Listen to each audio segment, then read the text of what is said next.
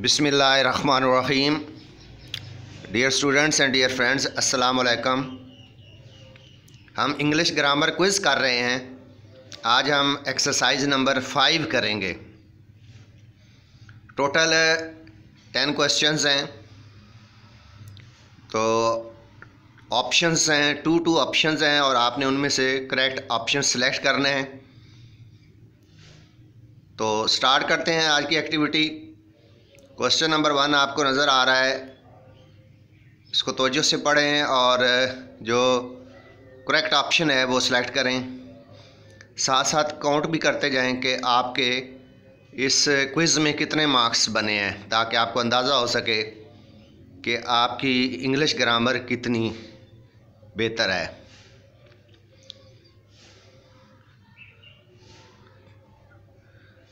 जी। Okay आपने टिक कर लिया होगा। Look at those boys they dash much noise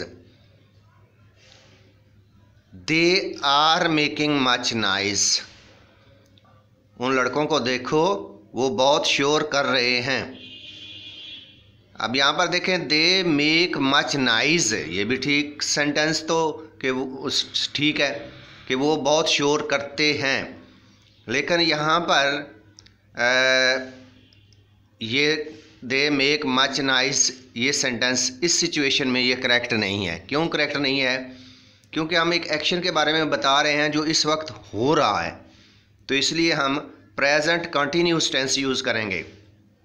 They are making much noise सिर्फ़ जो एम होते हैं, जो दो तीन ऑप्शन होते हैं होते हैं, उनमें से सिर्फ़ करेक्ट जो आंसर होता है, उस पर टिक लगा देना। या उसको रट लेना, इससे आपकी ग्रामर इम्प्रूव नहीं होती।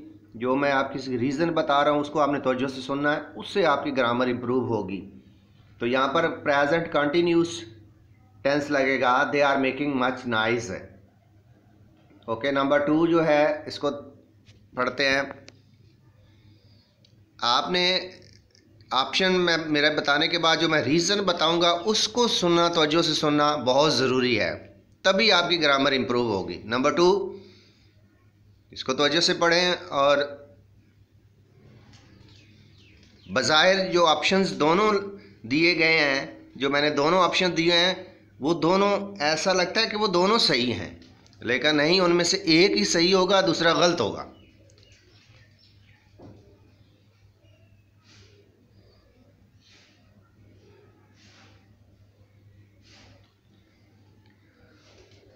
ओके आपने सेलेक्ट कर लिया होगा। There aren't left many oranges you should buy more if you want to eat regularly यानी ऑरेंजेस क्या होता है? माल्टे ज़्यादा, माल्टे बाकी नहीं बचे हैं। आपको और ख़रीदने चाहिए अगर आप बाकायदगी से खाना चाहते हैं। तो there aren't left many oranges lords of oranges नहीं। हालाँकि लार्ड्स ऑफ़ ऑरेंज का लार्ड्स ऑफ़ का मतलब भी होता है बहुत ज़्यादा। और मैनी भी, इसका मतलब होता है बहुत ज़्यादा। तो मैनी करेक्ट है लार्ड्स ऑफ़ करेक्ट नहीं है। रीज़न क्या है इसकी? रीज़न है कि ये नेगेटिव सेंटेंस है। आर नॉट लेफ़्ट तो लार्ड्स ऑफ़ अफर्मेटिव और पॉजिटिव सेंटेंसेस में यूज़ होता है। के नंबर थ्री जी।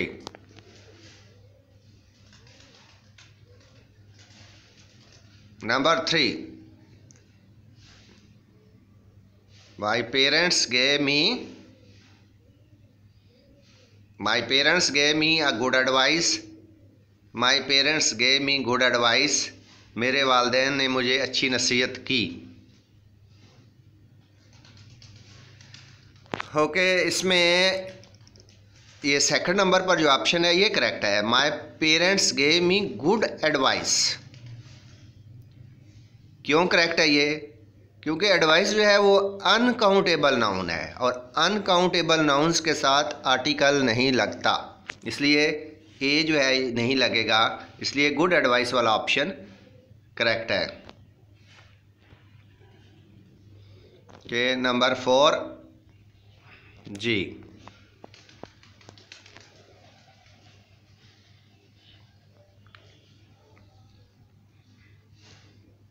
नंबर फोर को तोज्जो से पढ़ें और करेक्ट ऑप्शन जो है, जो आपके जहन में आ रहा है, उसको टिक करें और साथ मार्क करते जाएँ ताकि आपको क्विज़ के एंड पर अंदाज़ा हो सके कि आपके कितने मार्क्स बने हैं। Dash morning my brother woke up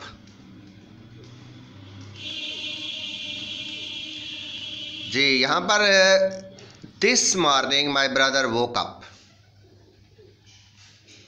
today morning my brother woke up late ये गलत है। टू डे अब वहाँ पर देखें ना कि पास्ट एक्शन की बात हो रही है। वो अब सेकंड फॉर्म लगी हुई है। बज़ाहिर तो आप इसका तर्जमा करें। तो उर्दू में तो वो आपको दुरुस्त नज़र आ रहा होगा। जैसे टू डे मॉर्निंग, आज की सुबह। टू डे आज को कहते हैं। आज की सुबह मेरा भाई जल्द, देर से उठा, देर से जागा। आज की सुबह मेरा भाई देर से जागा। बजाय तो ये दुरुस्त नज़र आ, लेकिन नहीं, आपने सेंटेंस का टेंस देखें woke up second form past action गुजर चुका है। इसलिए दिस मॉर्निंग ये करेक्ट है। This morning my brother woke up late number five what is the dash different difference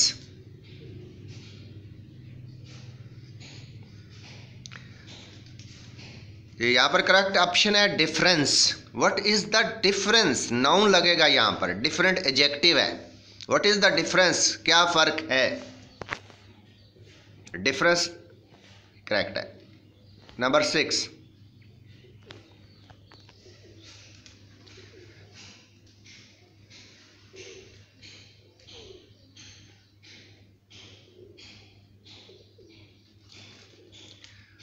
okay यहाँ पर दो ऑप्शन दिए हुए हैं अगो और बिफोर अगो का मतलब भी पहले होता है बिफोर का मतलब भी पहले होता है. लेकिन यहाँ पर अगो लगेगा बिफोर नहीं लगेगा. बिफोर अगर लगाना चाहते हैं तो बिफोर के बाद कोई एक्सप्रेशन आना चाहिए. जैसे यूँ कह लें we bought this house six months before I got married यानी मेरी शादी होने से छः माह पहले हमने ये मकान ख़रीदा. तो इसलिए अब यहाँ बिफोर नहीं लगेगा, क्योंकि बिफोर के बाद कोई एक्सप्रेशन नहीं आ रहा, आगे कोई स्टेटमेंट नहीं आ रही। तो we bought this house on six months ago ago लगेगा, यहाँ पर बिफोर नहीं लगेगा। Number seven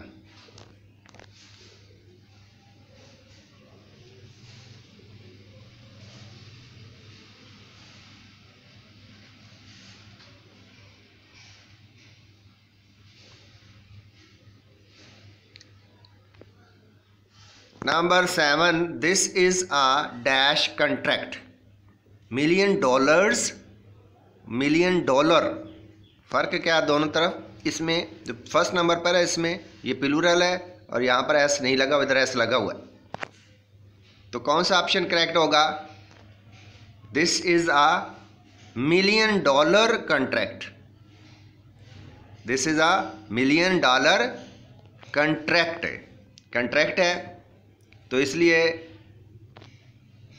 इसके साथ हम जो उसके मिलियन डॉलर के साथ एस नहीं लगाएँगे। This is a million dollar contract यानी एक मिलियन डॉलर का ये कंट्रैक्ट है। आर्टिकल भी लगा हुआ है ए लगा हुआ है।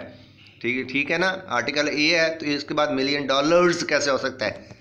आ मिलियन डॉलर आएगा।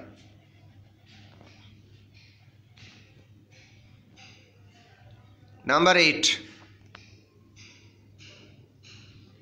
number eight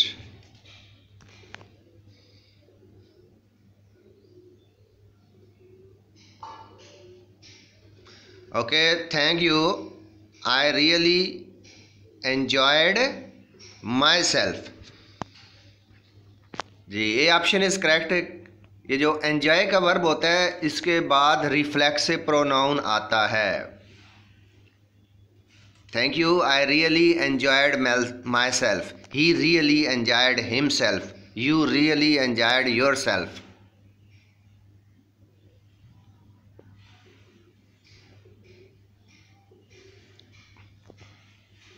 Number 9.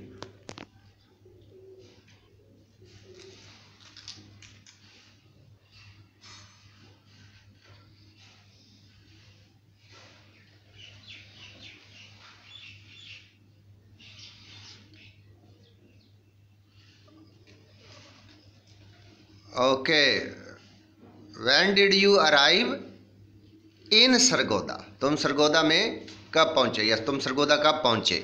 When did you arrive in Sargodha Sargodha जब सिटीज़ के बारे में बता रहे बता रहे हो ना कि किसी सिटी में कब पहुँचे तो इन की प्रपोजिशन लगती है। ऑन जो होता है, ये दिनों के साथ on Sunday on Monday on Tuesday वहाँ पर ऑन लगता है।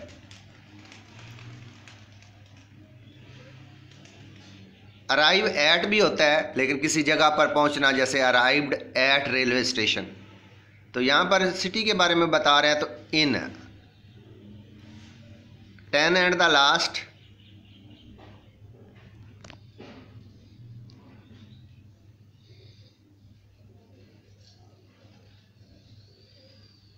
I'll call her dash next week.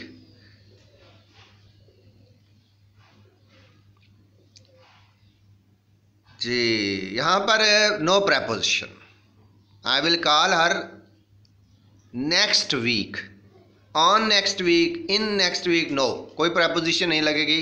ये कुछ वर्ड्स हैं, जिन, जिनसे पहले प्रपोजिशन नहीं लगती। मसलन ये देखें नेक्स्ट लास्ट एवरी या ईच इनसे पहले प्रपोजिशन हम नहीं लगाते। तो इस तरह हमारा ये आज का क्विज़ कंप्लीट हो गया है। So how many question did you answer correctly कितने सवाल के जवाब आपके दुरुस्त हुए, आपने नोट किए होंगे?